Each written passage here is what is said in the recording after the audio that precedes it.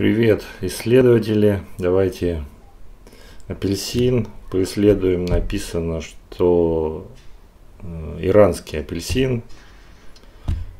Иранский, не знаю точно, так на бумажке там было написано. На самом деле он может быть откуда угодно. Из Африки, из Испании. В чем его особенность?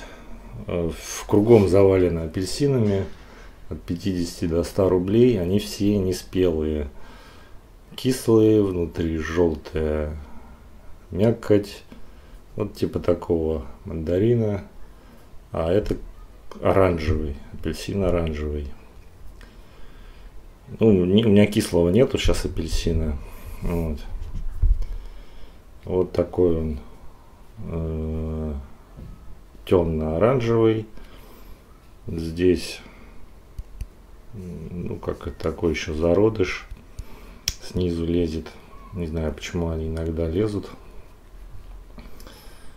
И видно, что он все-таки повалялся где-то, похоронился, не, не блестит. То есть такой уже под старенький. И может быть вмятины на нем могут быть. Это плохо. Вмятина сразу в этом месте все э, гниет в труху. Так. А, стоит э, около 90 рублей. 80 или 90 рублей. То есть цена небольшая, не маленькая, но он спелый. Вот он здесь. В раскрытом виде. Хороший вкус, сладкий, семечек нет. Все отлично, на пятерочку. Ну а то, что продают ленты и пятерки, недозревшая херня кислая.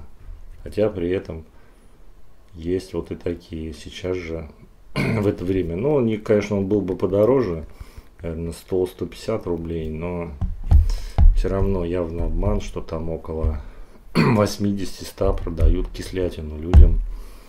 Хотя есть вот в таком виде апельсины. Но это государство, поганое государство российское, обманывает, грабит людей. Ну все, пока, ребята.